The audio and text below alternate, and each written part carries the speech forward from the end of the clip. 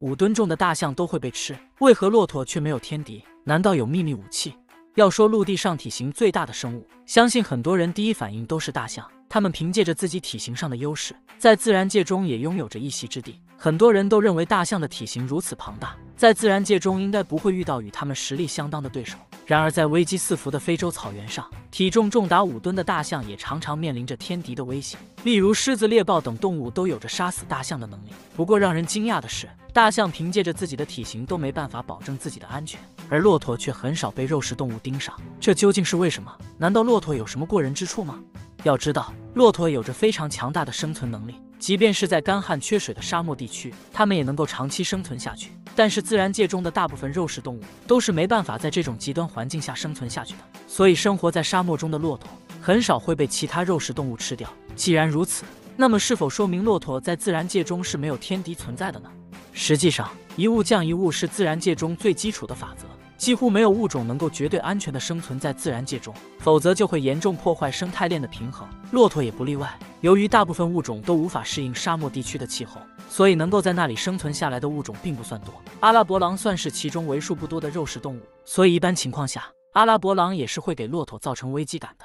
为什么骆驼明明有天敌，我们却很少听说它们被吃掉？相信有很多人都会感到十分好奇。骆驼并不是自然界中无敌的存在，但我们却很少听说它们死于其他动物的口中，这究竟是为什么？难道它们有什么独特的保命方式吗？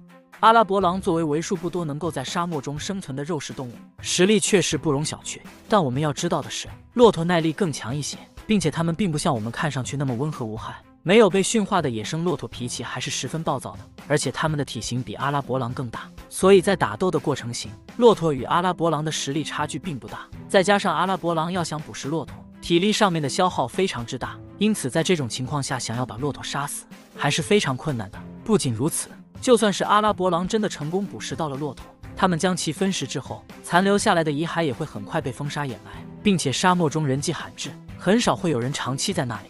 因此，我们也就没有机会亲眼目睹骆驼被捕杀的画面。除此之外，还有一个十分重要的原因，那就是阿拉伯狼的数量一直呈现着下降的趋势，所以骆驼的天敌数量锐减。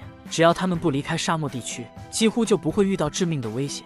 除非骆驼前往其他地方觅食，才有可能被生活在沙漠之外的肉食动物捕杀。这样看来，能够在沙漠中长期生存的优势，成为了骆驼不被捕杀的重要原因。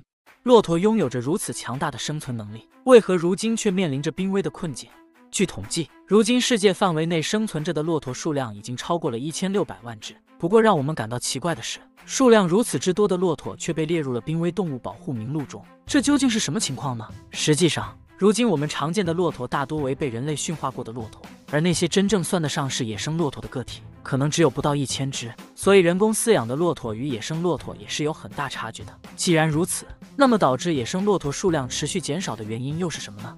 一开始的时候，野生骆驼的数量并不算少。不过，随着人们发现了它们耐干旱的特性以及其他的种种优势，更多的人选择捕捉野生骆驼，并且将其驯化，用来产出骆驼奶或是运送物资。骆驼经济就此开始发展。不过，随着人类的不断扩张以及频繁的驯化野生骆驼，导致很大一部分骆驼成为了牲畜，而野生骆驼的数量越来越少，至今濒临着灭绝。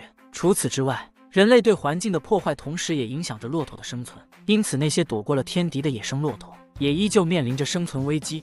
如今，人们已经重视到了对野生骆驼的保护问题，建立了很多自然保护区。相信随着人们的保护，野生骆驼的生存现状一定会有所改善。本期视频到这里就结束了，对此你还有什么想说的吗？欢迎在评论区留言。曲普文新征稿了。